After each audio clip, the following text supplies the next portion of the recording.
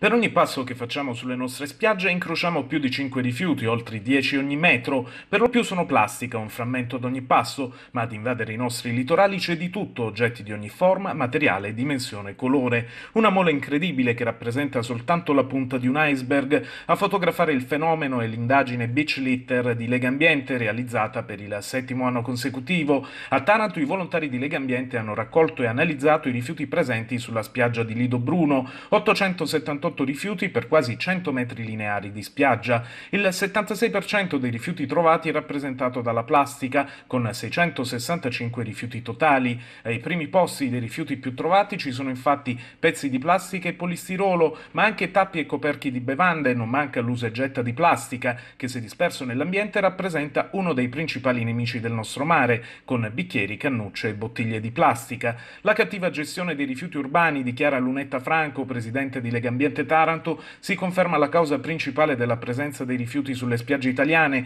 assieme alla carenza dei sistemi depurativi e alla cattiva abitudine di buttare i rifiuti urbani nel VC, conclude la presidente di Legambiente. In particolare i cotton fioc sono il simbolo per eccellenza di mala depurazione e della cattiva abitudine di buttarli nel water. Da ricordare che in Italia, anche grazie alla denuncia di Legambiente, sono stati messi al bando dal 1 gennaio 2019 in favore di alternative biodegradabili riciclabili e compostabili. La presenza rilevante di bicchieri, bottiglie e contenitori di plastica per bevande dimostra inoltre la necessità di lavorare per ridurre drasticamente questo tipo di rifiuto, anche con campagne che incrementino la fiducia dei consumatori nei confronti dell'acqua del rubinetto. L'Italia infatti è il primo paese in Europa e il terzo al mondo per consumo di acqua imbottigliata, nonostante la qualità e la sicurezza dell'acqua pubblica.